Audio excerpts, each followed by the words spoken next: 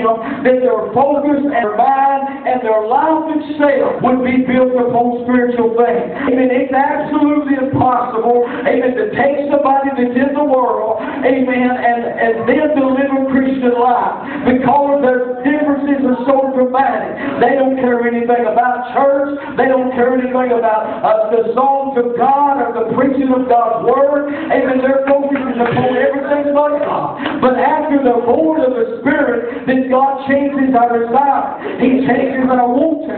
On the Sunday, it used to be, amen, I thought of doing everything but going to church. That was my do everything else. Amen, but go to church. I thought church people surely, amen, had been cheated some way down through life. I thought all they do is go to church and go home. They go to church, they go home. They don't have all the fun I'm having. I hear the world doing this, doing that, doing all these sinful pleasures. I thought, you know, I don't understand what makes the people tick. Amen. And I was right. I didn't. My mind was blinded. I couldn't like they thought. I couldn't see like they see. I've got a man comes to the church sometimes. He's got a family member that comes there. Amen. He loves to hear me preach, but he has no concept of worship.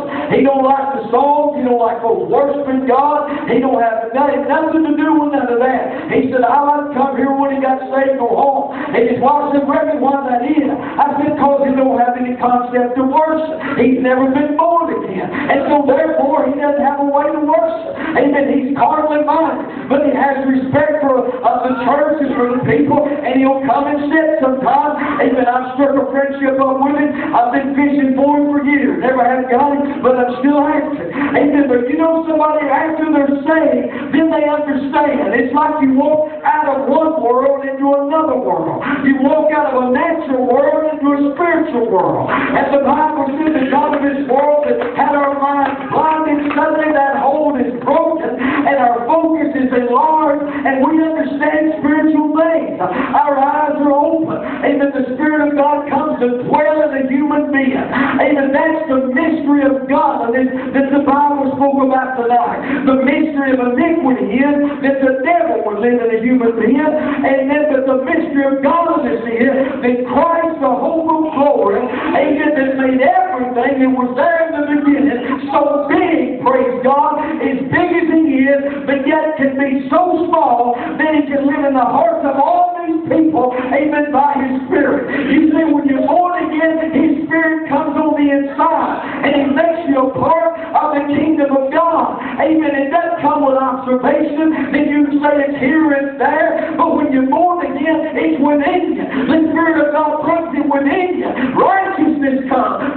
Comes, joy comes. That's the kingdom of God. It's a happy way.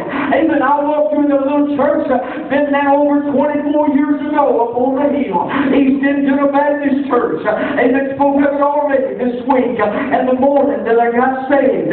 But I was on my way to torment. I was heading in the wrong direction. But I've been told all my life, Kevin, you need to be born again. You need to be saved by God. Amen. I didn't understand it any more than Nicodemus.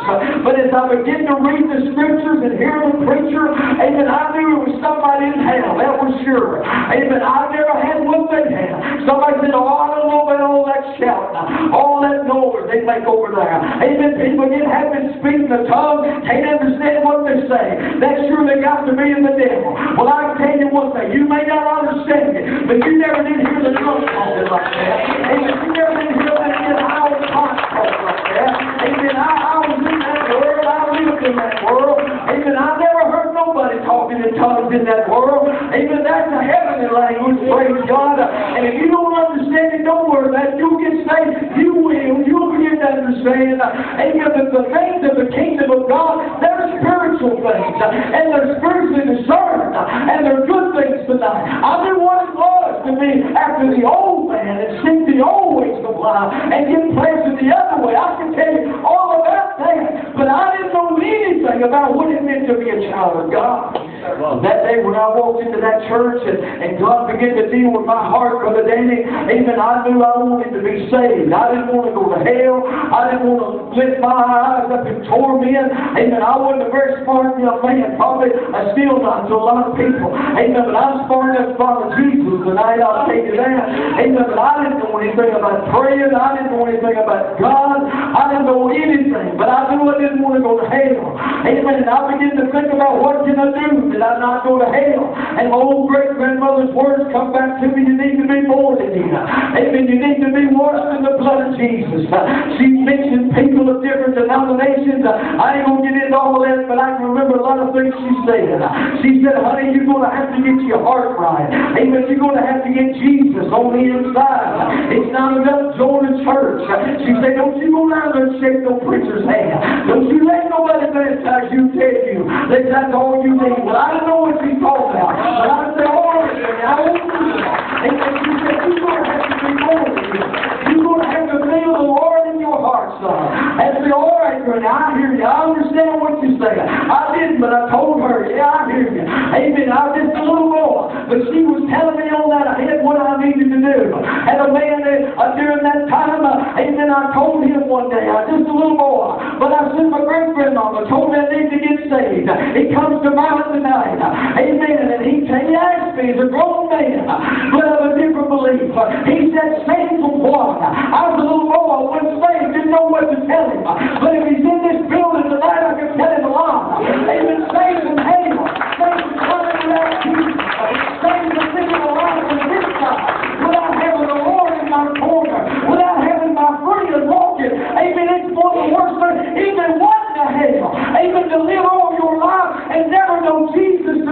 That's the worst thing in the world that you have to do.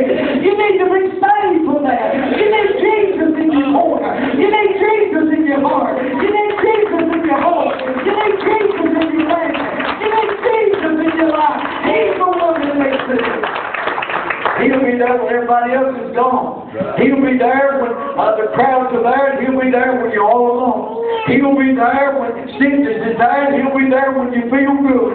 He's there on a sunshiny day, and he's there when the rains are pouring. Y'all say amen. I've been sure that there's got to be a people here tonight wanting to be in this revival. Praise God on this bad, rainy, cold night. Amen. It's raining. Praise God. I haven't seen a cat or a dog, but if I saw one fall, it wouldn't surprise me today. Amen. But you know what? There's a bunch of people in here tonight. What happened to you what happened to me. Amen. It may have happened in different time, but we again. Or another.